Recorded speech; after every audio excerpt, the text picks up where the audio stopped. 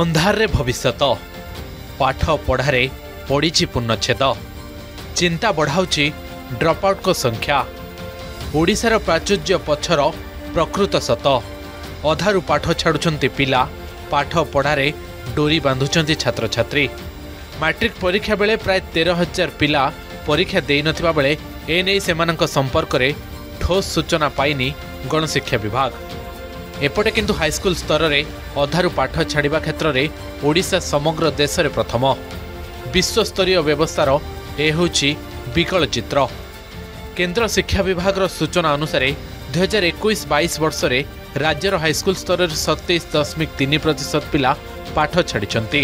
ସେମାନଙ୍କ ମଧ୍ୟରୁ ଅଣତିରିଶ ଦଶମିକ ଦୁଇ ପ୍ରତିଶତ ପୁଅ ଓ ପଚିଶ ଦଶମିକ ଦୁଇ ପ୍ରତିଶତ ଝିଅ ବସ୍ତାନୀରେ ଡୋର ବାନ୍ଧିଛନ୍ତି।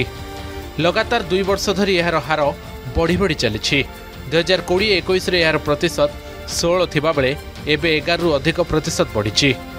ଜାତୀୟ ସ୍ତରରେ ଏହାର ରହିଛି ବାର ଦଶମିକ ଛଅ ପ୍ରତିଶତ ଯାହା ନିଶ୍ଚିନ୍ତ ଭାବେ ଚିନ୍ତାର ବିଷୟବସ୍ତୁ। ଆମେ ୟା ପାଇଁ ମଧ୍ୟ ବହୁତ ଥର ଆନ୍ଦୋଳନ କରିଛୁ ଏବଂ ଆମେ ଓଡ଼ିଶା ହ୍ୟୁମାନ୍ ରାଇଟ୍ସ କମିଶନରେ ମଧ୍ୟ ଗୋଟେ କେସ୍ କରିଥିଲୁ। ଯେଉଁ କେସ୍ ଆଧାରରେ ଆମେ ଜାଣିବାକୁ ପାଇଲୁ ଯେ ପାଖାପାଖି ସେଇଠି ଚାରି ହଜାରରୁ ଆଠ ହଜାର ପର୍ଯ୍ୟନ୍ତ ପିଲାମାନେ ଡ୍ରପ୍ ଆଉଟ୍ ହୋଇଥିଲେ। ଯଦି ଏମିତି ଆଭରେଜ୍ ଦେଖିବେ ଆପଣ ଯଦି ପ୍ରତି ଜିଲ୍ଲାରେ ଚାରି ହଜାରରୁ ପାଞ୍ଚ ହଜାର ଦେଖିବେ ତାହେଲେ ଏମିତି ତାଙ୍କ ହିସାବରେ ପାଖାପାଖି ଦେଢ଼ ଲକ୍ଷରୁ ଦୁଇ ଲକ୍ଷ ପିଲା ଡ୍ରପ୍ ଆଉଟ୍ ହୋଇଛନ୍ତି ଓଡ଼ିଶା ସାରା। ସେଥିପାଇଁ ଏବେ ମଧ୍ୟ ଟାଇମ୍ ଅଛି କୌଣସି ଗୋଟେ ବହୁତ ବଡ଼ ଇଏ ହେଇନି ଗୋଟେ ବର୍ଷ ଲସ୍ ହେଇଗଲା ହେଇଗଲା। ଏବେ ଯେଉଁ ପିଲାମାନେ ଡ୍ରପ୍ ଆଉଟ୍ ଅଛନ୍ତି ନୂଆପଡ଼ାରେ ପିଲାମାନେ ପଢ଼ିଛନ୍ତି ଇଟାଭାଟି ସବୁ ପଢ଼ିଛନ୍ତି ଆମ ପାଖରେ ପ୍ରମାଣ ଅଛି। ବଲାଙ୍ଗୀର ଅବସ୍ଥା ସେୟା କଳାହାଣ୍ଡିର ଅବସ୍ଥା ସେୟା। ତାକୁ ରୋକିବାକୁ ହେଲେ ଆପଣଙ୍କୁ ଡ୍ରପ୍ ଆଉଟ୍କୁ ହଣ୍ଡ୍ରେଡ଼ ପରସେଣ୍ଟ ଯେତେବେଳେ ଗାଁରେ ଜିରୋ ଡ୍ରପ୍ ଆଉଟ୍ କରିବେ ତାହେଲେ ଏହା ସମ୍ଭବ ହେବ। ତା ପାଇଁ ଗୋଟେ ସ୍କିମ୍ ଦରକାର ଗୋଟେ ମାନସିକତା ମଧ୍ୟ ଦରକାର ସରକାରଙ୍କର। ବିଶେଷ କରି ପ୍ରଥମରୁ ଅଷ୍ଟମ ଯାଏଁ ପୋଷାକଠାରୁ ଆରମ୍ଭ କରି ମଧ୍ୟାହ୍ନ ଭୋଜନ ଏପରିକି ମାଗଣା ପୁସ୍ତକ ଯୋଗାଇ ଦିଆଯାଉଛି। କିନ୍ତୁ ନବମ ଓ ଦଶମ ଶ୍ରେଣୀର ଛାତ୍ରଛାତ୍ରୀମାନେ ଆର୍ଥିକ ଅବସ୍ଥା ସ୍ୱଚ୍ଛଳ ନଥିବାରୁ ବାଧ୍ୟ ହୋଇ ସେମାନଙ୍କ ପାଠ ଛାଡ଼ୁଛନ୍ତି। ସେମିତି ଜଣେ ଛାତ୍ରୀ ହେଉଛନ୍ତି କୋରାପୁଟ ବରିଗୁମାସ୍ଥିତ ପରିଜା ସାହିର ରିନା ଜାନି। ପାଠ ପଢ଼ିବାକୁ ଇଚ୍ଛା ଥିଲେ ବି ପାଠ ପଢ଼ିପାରିନାହାନ୍ତି ରିନା। ବାପାଙ୍କୁ ସାହାଯ୍ୟ କରିବା ପାଇଁ ଚାହା ଦୋକାନରେ ଚାହା ବିକିବାକୁ ବାଧ୍ୟ ହୋଇଛନ୍ତି ରିନା। ସେହିପରି ବରିଗୁମାର ସରୋଜ ପାତ୍ର ମଧ୍ୟ ଆର୍ଥିକ ସମସ୍ୟା ଯୋଗୁଁ ପାଠପଢ଼ା ଛାଡ଼ି ଛୋଟିଆ ଷ୍ଟଲ୍ରେ ଖେଳନା ଦୋକାନ କରି ପରିବାର ପୋଷୁଛନ୍ତି। ରାୟଗଡ଼ା ବିଷମକଟକ ବ୍ଲକ ଚାଟିକଣ ପଞ୍ଚାୟତର ସାନ ମଟକବାଡ଼ି ଗ୍ରାମର ରଘୁନାଥ ଜାକ୍ସିକା ବି ଅଷ୍ଟମ ଶ୍ରେଣୀ ପାସ୍ ହୋଇ ନବମ ଶ୍ରେଣୀର ଅଧ୍ୟୟନ କରିଥାନ୍ତେ। ହଠାତ୍ ବାପା ଆରପାରିକୁ ଚାଲିଗଲେ।